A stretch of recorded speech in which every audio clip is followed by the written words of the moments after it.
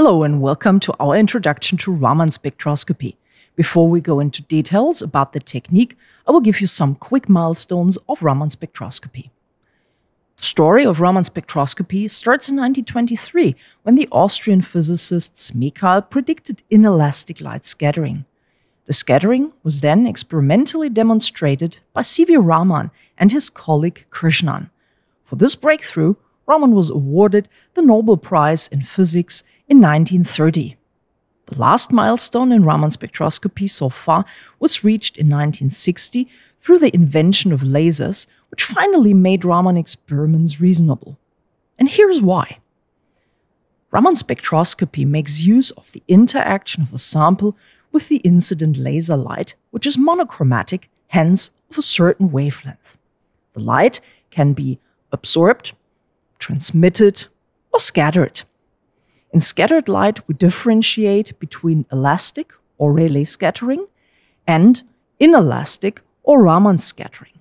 But what is the difference? Before we jump into the details, here are some basics you need to know. Molecules have different vibrational levels, which are defined by specific energy differences. The virtual state is a short lived, unobservable state. In Rayleigh scattering, the laser photon excites the molecule into a virtual state. The molecule only stays in this state for a very short time. Then the molecule falls back to the ground state. In this process, the light gets scattered. The scattered light in this case has the same frequency as the incident light. This is Rayleigh or elastic scattering. As a side note, the general frequency corresponds to energy. Now, what about inelastic scattering? Just like in Rayleigh scattering, the laser frequency excites the molecule into a virtual state. Again, the molecule only remains in this state for a short time, but in contrast to Rayleigh scattering, falls to an excited state, not to the ground state. The light scattered in the process has a different frequency and thus energy than the incident light. This is the so-called Stokes-Raman scattering or Raman shift and serves as a fingerprint of the molecule. However, only one out of one million of scattering events yields a frequency different from the frequency of the incident laser light. One can also say that only one out of one million photons is Raman scattered. But wait, there is more the anti Stokes scattering. In this case, the laser frequency excites the molecule from an already excited state into a virtual state. When the molecule falls back to the ground state, the scattered light has more energy than the incident light, creating anti-Stokes scattering. The main focus in Raman spectroscopy, however, is typically on the Stokes scattered light. This is due to the fact that at room temperature, anti-Stokes scattering is less likely to happen compared to Stokes scattering. Now that we know how Raman scattering works, we will have a quick look at how a Raman spectrometer works. Here we see the setup of a typical Raman spectrometer. The laser creates a laser beam which is directed at a beam splitter. The light is then projected onto the sample through focusing optics.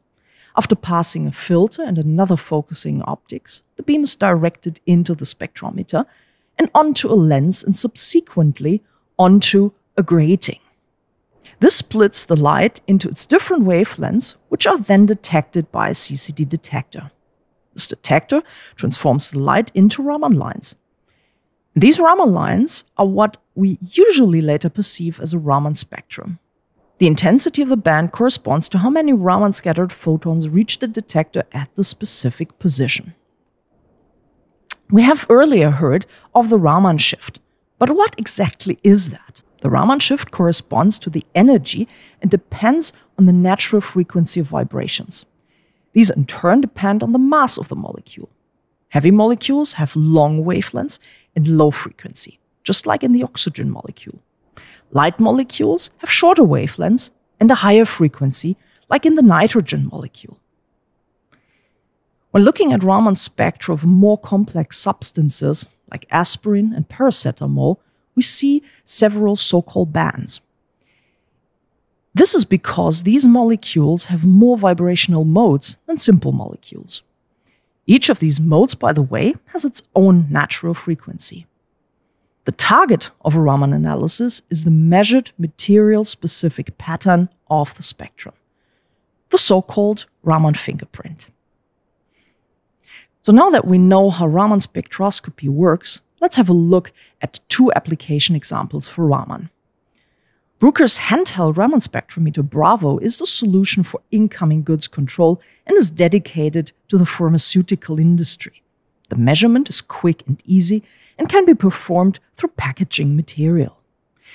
In case you need to measure a larger number of samples, the Multiram FT Raman spectrometer with the HTS stage is the right choice as it allows a fast, automated sample analysis. Last but not least, here we have an example of a Raman measurement with Bruker's Raman microscope Senterra 2.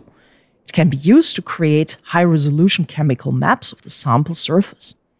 The distribution of active ingredients in tablets is an important application in the pharmaceutical industry. If the distribution is inhomogeneous, the medical efficacy of the tablet may be enhanced or limited. A chemical image was created and shows the distribution of the active ingredients in the tablet. Each color stands for a different ingredient, and we can see that the distribution is relatively homogeneous. With this, you got a quick guide through Raman spectroscopy. Hope you liked it, and see you next time.